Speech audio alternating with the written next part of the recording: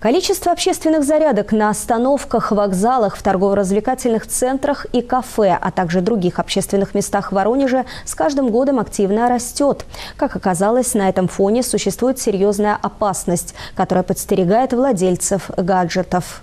Эксперты предупредили жителей Воронежа об опасности зарядки гаджетов в общественных местах. По их словам, подключаясь к зарядному устройству, можно загрузить вирус, а злоумышленники могут получить доступ к данным, хранящимся в телефоне. В кабель для зарядки можно встроить специальное устройство, и когда человек подключает свой гаджет для зарядки, тот становится уязвим для взлома. Таким образом, воронежцам советуют избегать станций для зарядки устройств в общественных местах или использовать портативные аккумуляторы. Владислава Витковская, 41 канал.